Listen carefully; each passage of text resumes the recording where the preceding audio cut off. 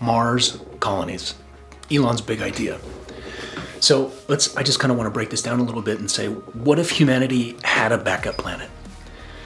Like, imagine waking up on a different world, like red sand under your feet, a black sky above you, you know, Earth, just a tiny dot in the distance. I mean, Mars colonies means humanity becomes multiplanetary.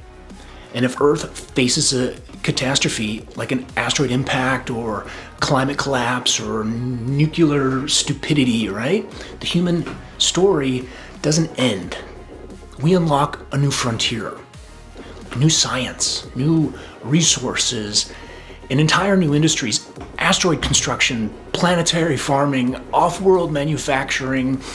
You know, Mars could be like the birthplace of the next generation of explorers. But here's the bad news